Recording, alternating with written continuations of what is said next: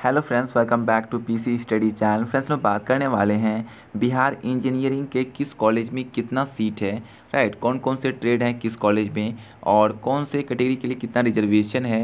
Right सारी चीज़ें हम लोग इस वीडियो में बात करेंगे तो वीडियो को पूरे अंत तक देखिएगा। चैनल पर नए हो तो सब्सक्राइब कर लीजिएगा। तो चलिए वीडियो करते हैं स्टार्ट तो सबसे पहले इसको जो है यहाँ पर जूम आउट कर देते हैं, जिससे आपको सारी चीज़ें जो है क्लियरली यहाँ पर दिख पाए। ठीक है? तो यहाँ पर सबसे पहले हम लोग देख लेते हैं आपका जो है रिजर्वेशन। तो यहाँ पे रिजर्वेशन कितना है? किस कैटेगरी के लिए यहाँ पे मेंशन है? यू आर के लिए फोर्टी परसेंट एस सी के लिए सिक्सटीन परसेंट एस टी के लिए वन ई बी सी के लिए एटीन परसेंट बी सी के लिए twelve percent R C G के लिए three percent E W S के लिए टेन परसेंट और डी क्यू के लिए फाइव परसेंट राइट ये आपका जो है यहाँ पे रिजर्वेशन हो गया। अब यहाँ पे हम लोग बात कर लेंगे जो है किस कॉलेज में कौन कौन से ट्रेड हैं और कौन से ट्रेड में कितना सीट है और टोटल सीट कितना है, ठीक है? सबसे पहले हम लोग भागलपुर की बात करें तो भागलपुर में civil engineering, mechanical, electrical, electro electro communication and engineering, ठीक है?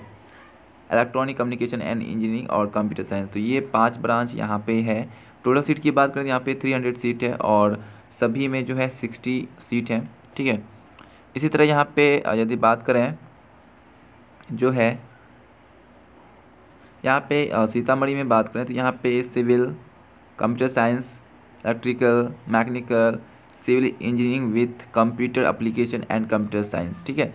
टोटल यहाँ पे जो है थ्री हंड्रेड सीट है। तो इसी तरह आपको चेक करना है, बाकी थोड़ा और नीचे आते हैं, ठीक है? तो यहाँ पे देख सकते हो, टोटल जो आपका यहाँ पे कॉलेज है, ठीक है?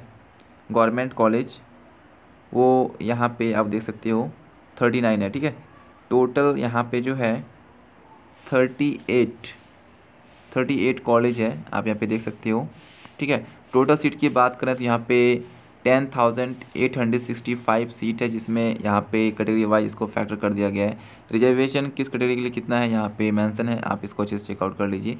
बाकी कोई भी डाउट है तो कमेंट बॉक्स में ज़रूर मेंशन कीजिए। और ये जो सीट है, ये काउंसलिंग होगा जेई मेंस के बेसिस पे, ठीक है? जेई मेंस के बेसिस पे जितना भी मार्क्स आया होगा, उसके जो है यहाँ पे बेसिस पे जो है काउंसलिंग होने वाला है और एडमिशन होने वाला है, ठीक है? बाकी आप लोग ज़रूर बताइए नेक्स्ट वीडियो किस टॉपिक पे चाहिए। मिलते हैं नेक्स्ट वीडियो में तो thank you for watching this video